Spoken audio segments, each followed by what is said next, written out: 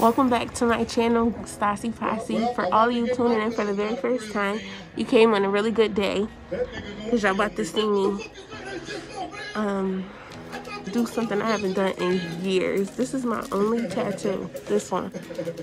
And I got the pictures to prove it. I cried like a whole baby. Like, so today I am getting my butt tattooed. I'm getting a little bumblebee. Um, and then I'm also getting my inner bicep. Um, I just felt like I just wanted to do it. There honestly isn't really a reason. Corona been keeping us down, and I wanted to do something that would lift my spirits. Um, I got this referral from somebody on Facebook.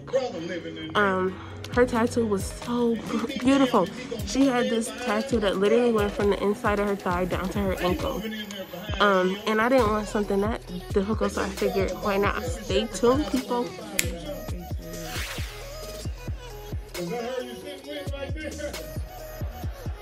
Yeah.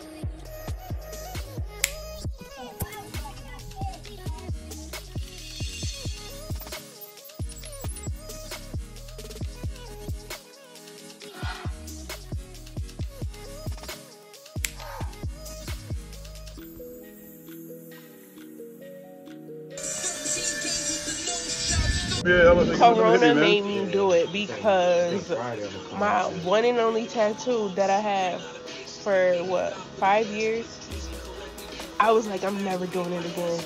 Whatever. And I had to pee because when I'm nervous, then I gotta pee. Hi everybody. Um, I pee already twice because when I'm nervous, I either pee or fart. Oh my god. Well, I'm glad you're peeing. no. well, I knew I was getting my butt tattooed, so I figured I probably should just pee first. That's some funny shit.